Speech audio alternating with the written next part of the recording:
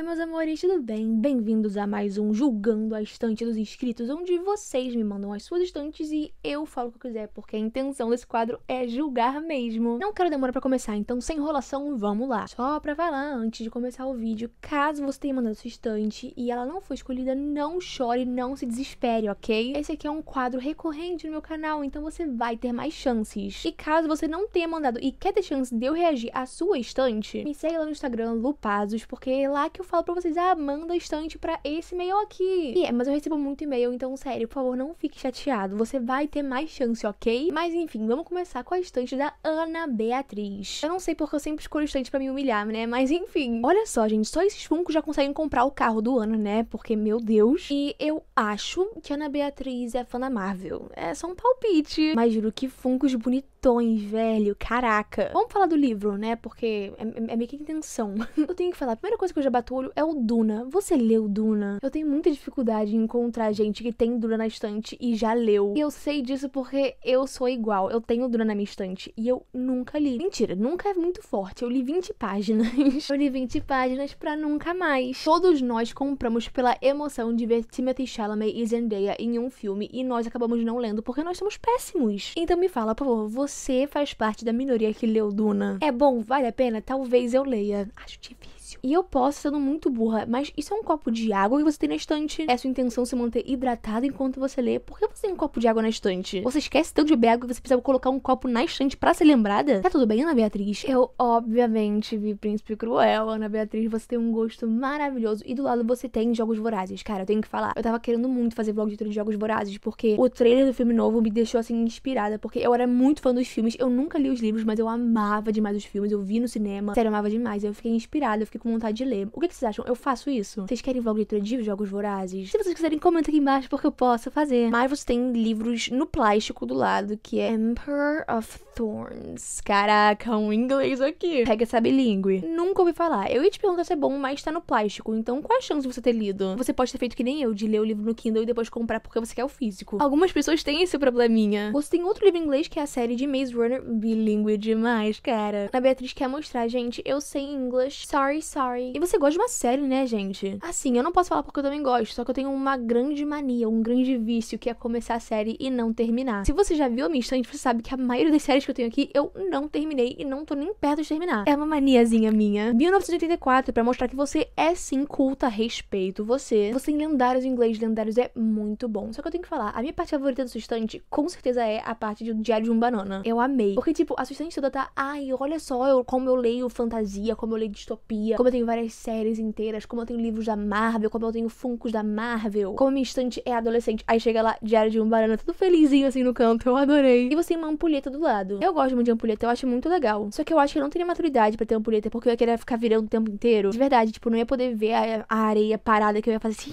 Eu acho muito legal ver a areia escorrendo. Sim, eu também, porque pergunta. Mas assim, eu nunca li Diário de Banana inteiro, porque eu era mais do time querido hereditário e Diário de uma Garotona da Popular. Porém, eu já li alguns e eu acho muito divertido. Ana Beatriz, eu adoro esse instante. Eu achei muito linda. Se você quiser me dar os funcos da Marvel, você pode me dar. E beba água, não esqueça. E não esqueça o copo de água na estante. Tem que lavar, ok? Porque água parada dá dengue. Se a estante da Ana Beatriz podia comprar um carro, a estante da Bruna pode comprar um apartamento. Eu falei que a Ana Beatriz era fã de série porque a gente não tinha visto a Bruna ainda. Bruna, minha nossa senhora. Mas enfim, vamos por partes. Já no comecinho lá, Harry Potter. E você tem a Harry Potter, a edição da capa tailandesa. Olha como eu sei, gente. E a edição das capas, sei lá, eu chamo essa de capa normal, porque eu não sei qual o nome dessa edição. Então, capa normal. Você tem um copinho com marca-página. Eu devia fazer isso, gente, porque meus marca-páginas, eu guardo eles, guardo. Eu deixo eles jogados na minha estante. Tipo, eu sei onde tá. Então, quando eu quero, eu só pego lá e falo assim, pum, eu pego. Só que tá jogado. Eu acho que seria mais bonitinho organizar, né? Eu devia aprender com vocês, realmente. A Bruna tá esbanjando dinheiro porque ela tem a série Trono de Vidro. Gente, olha só, na moral. Vocês sabem, amo livros, porém, às vezes é complicado. A série Trono de Vidro, tipo, é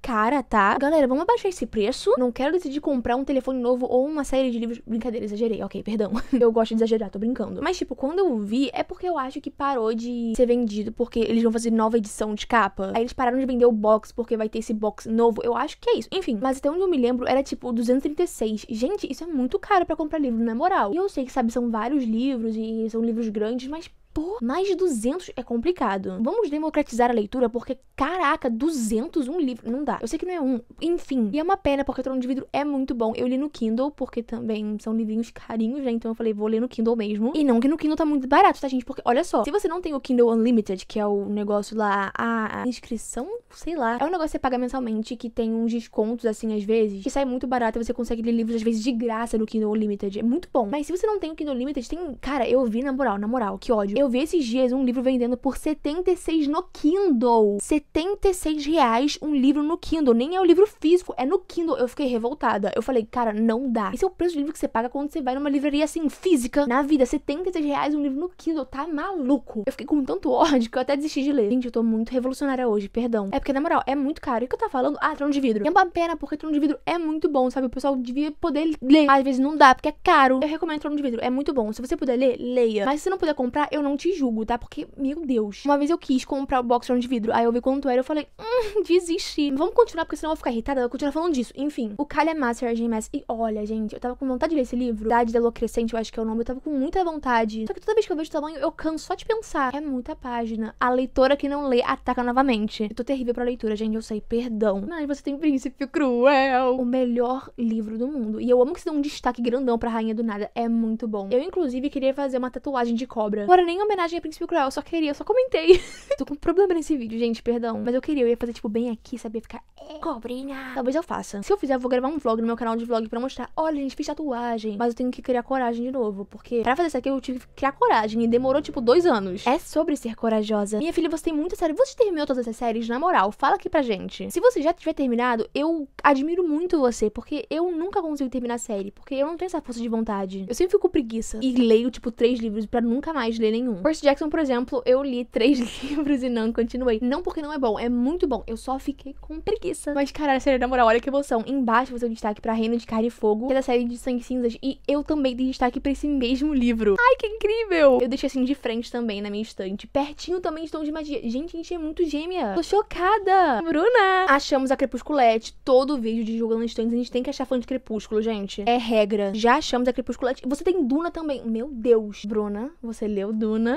você também tem tanta série que eu não duvido que você tenha lido. Porque, né? Olha, você aparentemente leu tanta série que eu não duvido que você tenha lido Duna. Talvez você tenha essa força de vontade que eu não tenho. Você tem muita série, eu tô muito chocada. Você tem Sombriossos, Rainha Vermelha, Estilhaça-me, Bridgerton, Jogos Vorazes, Heartstopper. Você tem. Bruna, eu amei a sua estante. Ela é tão linda. Eu amo, tipo, não aparece pra vocês, aparece pra mim. Ela mandou como mensagem aqui. E, gente, a Bruna mandou uma mensagem que não aparece pra vocês, aparece pra mim. Eu vou ler aqui pra vocês. E ela falou: Quem vai ser humilde o suficiente pra limpar minha estante? Eu posso limpar a sua estante. Só que vai ser um limpar um pouco diferente do que você quer. Eu vou rapar uns livros seus. Eu vou chegar lá na casa da Bruna. Oi, Bruninha, posso limpar essa estante? Aí ela, claro, vem, entra. Aí eu vou embora com metade da estante dela. Ué, você não queria estante limpa? Limpei. Achamos também o It, galera. Outra coisa que sempre aparece no jogando estante é alguém que tem It. E a minha pergunta de sempre é: você leu It? Você terminou It? Outro livro que nem dura pra mim, que eu comecei e não terminei. Mas eu li mais páginas, tá? Eu li mais de 20, eu acho. Eu não faço a mínima ideia. Eu tô aqui falando, não sei se eu li mais de 20. Lá do outro lado, você tem uns romances que eu me identifiquei muito. Você tem Daisy Jones. É muito bom, Daisy Jones, cara. Amo demais. Mas, Bruno, na moral, sua estante nota mil. Eu adorei. Eu posso limpar essa estante. Você confia em mim pra isso? Eu não confiaria. Mas, tudo bem. Vamos pra estante da Júlia. E a Júlia já mandou uma mensagem aqui que eu não achei graça. Ela botou: Aqui está minha belíssima estante, lupa. Aí embaixo ela botou: Nada de maltratar meus livrinhos de after. Hum. Eu vou tentar, Júlia. Brincadeira.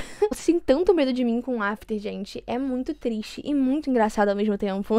Essa aqui é a estante inteira da Júlia, lindíssima. O povo dela eu já vi. Eu já vi também o pôster ali embaixo de Judy Carden. Eu amo demais. E achei tão bonitinho que você botou florzinha, você botou cogumelo. Bem vibe assim, tipo povo do ar, bem férico, bem fada, incrível. Isso pra falar uma coisa que não tem nada a ver com nada. Você tem essa xícara aí que me lembrou uma história muito emocionante minha. E como emocionante eu quero dizer depressiva. E com depressiva eu quero dizer eu quase matei minha irmã. A minha amiga, ela foi pra Disney em 2018. Eu não lembro o ano. E minha princesa favorita é a Rapunzel. E ela trouxe pra mim de presente uma caneca da Rapunzel, que era a coisa mais linda. Aí a minha irmã, ela acordou um dia pra ir pra escola e tava cedo, ela tava com sono. E ela deixou minha caneca cair e quebrar. E desde aquele dia eu não amo mais minha irmã. Essa é a minha história. E tipo, não é parecido com a sua caneca. Eu só me lembrei. Eu me lembrei, fiquei triste e essa é a minha história. Corações pela caneca da Luana. Ai, o box eu não divido que eu tava falando. Gente, eu acho que eu falei errado aquele outro, hein? Eu acho que a Bruna comprou separado. Mas também a crítica é a mesma, porque continua sendo caro. Mas esse é o box de vidro. Eu tô com um problema. Outra fã de J. Maas, com a Cotar também. Gente, Eu tava pensando em acotar esses dias, né? Eu pensei, pô, eu podia voltar ali ao terceiro, né? Pra acabar logo, porque eu não termino série, tem essa mania, eu tinha que terminar. Aí eu pensei na mesma hora de desistir, que eu fui com preguiça. Rainha Vermelha, gente para de me humilhar. Rainha Vermelha foi ainda pior, porque eu li só o primeiro. Eu li só o primeiro livro e parei. Mas eu devia ler Rainha Vermelha. Esse vídeo tá sendo uma grande crítica para mim, né? Você tem clássicos e eu vou estereotipar, porque para mim toda pessoa que lê clássico é inteligente. Eu não tô nem aí, é a minha opinião. e se você discorda, você tá errado. Isso aqui é uma monarquia onde eu sou a rainha. Então, parabéns, Julia. Pra mim, você é muito inteligente. E já que eu acabei de chamar a Julia de inteligente, vamos essa parte onde tem os livros de after. Perdão, Julia. Eu não me aguento, é muito difícil para mim. Mas olha essa casinha que bonitinha. É com argila? Você que fez? Quando eu tava na escola, e tipo, há muito tempo atrás. Não muito tempo atrás, não me chama de velha. Luana, não se chama de velha. Eu quero dizer muito tempo atrás, tipo, quando eu era pequenininha, entendeu? Eu não tô falando que quando eu tava na escola era muito tempo atrás, porque não era. Eu sou jovem. Muito jovem. Enfim, quando eu era criancinha e tinha que brincar de argila na escola, eu am... Não brincar de argila, ter aula de artes com argila. Eu amava, achava tão divertido. Eu ficava tipo, ai meu Deus. Como eu sou artista, eu já consegui fazer alguma coisa decente? Não. Porém, o que vale é a intenção. Eu também achei essa casinha com muita vibe do povo do ar, mas também eu só penso em povo do ar, então é fácil relacionar tudo ao povo do ar, porque é só isso que eu penso. Mas que amigos, eu já indiquei esse livro. Não tô falando que você leu por minha causa, tá? Mas eu tô falando que eu já indiquei. É bom se sentir vista. Mas aí você tem a hipótese do amor incrível, uma face de amor na Espanha, off-campus, eu adoro off-campus. Aí do lado você tem, ah, Fidel. Eu tô tentando não zoar, desculpa. Mas, Júlia, você não é fã de verdade, porque você não tem o Before, que é o livro de After na visão do Harding. E sabe quem tem? Eu. Eu sou fã de verdade de After. Hashtag Harding é o amor da minha vida. Vocês estão proibidos de gravar a tela disso e postar em qualquer lugar, tá? Quem fizer isso, eu vou bloquear. Uma briga aqui, se querem me dar mão. Mas como a Júlia pediu pra eu não maltratar, eu vou falar bem. After é um livro muito bom, com um romance super saudável e feliz. Eu era a pessoa mais feliz do mundo enquanto eu lia After. Eu nem tive vontade de me jogar da janela. Hashtag ressa. Agora vamos pra gente da Bia. E só pra falar aqui rapidinho, a Bia me mandou uma mensagem que foi muito fofinha. Bia, eu te amo, você é uma gracinha, tá? Muito obrigada por tudo. Enfim, vamos ver a gente da Bia. Não, desculpa, fiquei sem palavras. Bia, pelo amor de Deus. Bia pode comprar o carro do ano e é uma cobertura. Bia, sério, sem condição. Quanto é o aluguel da sua biblioteca? A primeira coisa que eu bati o olho foi uma que Eu acho ele tão fofo. E também do lado tem uma caixa de fósforos incendiária. Tô brincando, Bia. Deve ser pra botar fogo nas... Não botar fogo nas velas, pra acender suas velas. Por que eu falei botar fogo nas velas? Ninguém bota fogo, você acende, enfim. Mas pra mim é mais divertido te chamar de Bia incendiária. Mas eu adorei as bandeirinhas de Príncipe Cruel também, do negócio de Ernesto qual o nome? Cidade de Lua Crescente. Eu acabei de falar e eu sempre esqueci o nome desse livro. De Sangue Cinzas e cara, do De Sangue e Cinzas é bonito e nunca tinha visto. Adorei. Essa parte aí de cima, tipo, é muito a minha parte. É o livro de fantasia e romance influenciados pela BookTok. É igual eu. E ela mandou uma foto que, tipo, de longe não dava pra ver, mas olha isso, gente. É um potinho com, tipo, mini livrinhos. Que coisa mais fofa, pelo amor de Deus. E do lado, para. Esse bichinho de crochê, eu acho que é. Eu tenho vontade de chorar. Eu... Ai, eu não aguento com coisa fofa, me dá vontade de gritar. Eu quero. Me dá, Bia. Mas aí a vela da Bia tá vendo só, gente? Luana, você tem que se segurar pra julgar antes. Mas, gente, tô muito atordoada com a bastante da Bia. É porque é tanta coisa pra ver que eu tô, tipo, animada. Tô... Ai, que legal. E que livro é esse? Cor de Sombras. Eu achei a capa tão linda. Eu adorei, de verdade. Gente, outra pessoa que tem Jogos Vorazes. É uma mensagem divina? Eu devo ler Jogos Vorazes? Deus? Gente, a estante da Bia é mais organizada que a minha vida. Eu não sei se eu te elogio ou fico preocupada comigo mesma. Pássaro e Serpente, gente. Um livro que eu comprei e não li. Luana, você é tão incrível. E olha, para. É uma abelhinha de crochê. Eu quero, para. Eu quero, Bia. Me dá essa abelhinha. Não, Bia, sério, eu amei. Casa comigo, o quê? E por último, mas nem por isso menos importante. Eu falei certo por último? Falei, eu acho que eu falei. eu tô sem neurônios nesse vídeo, me perdão. Me perdão, meu Deus do céu. Eu tô com uma blusa do Brasil hoje, devia estar representando o nosso país. Falar, tipo, olha como a gente é inteligente. Só que eu não sou a pessoa certa pra representar isso. Brasil, moro num país tropical. Enfim, instante da Letícia. Acho que temos uma fã de Harry Potter, galera. Talvez, hein? E pra todo mundo que pergunta se eu ainda sou fã de Harry Potter, eu sou. Gente, ai meu Deus. Não é porque eu parei de falar sobre que eu não gosto, entendeu? É porque eu senti, ai, ok, desabafa no meio do vídeo. Eu senti que tudo que eu tinha pra fazer, pra falar sobre Harry Potter, eu já fiz. Então por isso eu quis mudar, sabe? Novos ares. Não é porque eu parei de falar que eu não gosto. Eu amo. Harry Potter, galera, vamos que vamos. Então é, só queria falar isso. Eu achei sustente muito maneiro com esse negócio assim, sabe? Tipo um escorrega. Não escorrega, porque quem é que vai escorregar nisso aí, né? Mas eu achei o formato muito divertido, sabe? E a sua caneca que tá com uma pinha por algum motivo. Sabe por que o pinheiro nunca fica perdido na floresta? Porque ele tem uma pinha. Desculpa.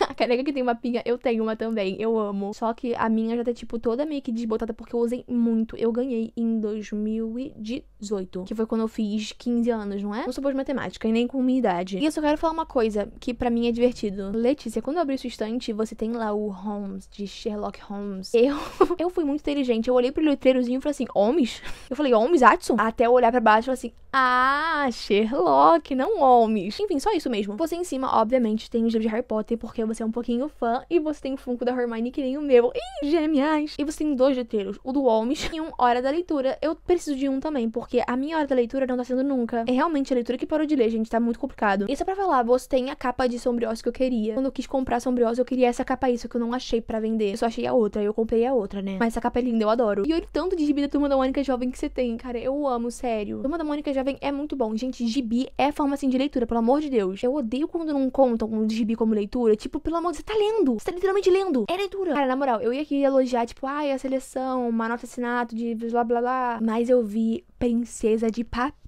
Ah! Você devia ter feito que nem a Júlia. Falar, tipo, ei, não fala mal. Porque, pô, princesa de papel é complicado. Você gostou? Pensativa. Esse livro. eu não vou falar mal, gente. Esse livro é muito bom, tá? É uma delícia esse livro. Adorei a minha leitura. Eu nem soquei a minha amiga que me indicou ele. Brincadeira. e vamos terminar com esse ursinho Poo bonitinho. Porque ele é uma gracinha. Olha que bonitinho, ursinho Poo. Tô com problema nesse vídeo, gente. Me perdoa. Mas, galera, esse foi o Julgando Estantes de hoje. Que eu acho que é a parte 7 ou 8. Não satisfeito, gente? Já acabou, né? Deu? Vocês querem mais Julgando Estantes? Qual foi o estante que você mais gostou? Qual que você queria ter? Comenta aqui embaixo pra eu saber. Mas se você gostou desse vídeo, não se esquece de inscrever no meu canal, ativar o sininho pra perder nenhum vídeo, curte o vídeo que me ajuda bastante e compartilhe também que gostam de livros e gostam de julgar estantes que nem eu. Me siga também nas redes sociais pra você não perder quando eu posto vídeos assim e posto pra você me mandar sugestões. Então me siga lá pra não perder nada disso. E até o próximo vídeo, meus amores. Eu amo muito, muito, muito vocês.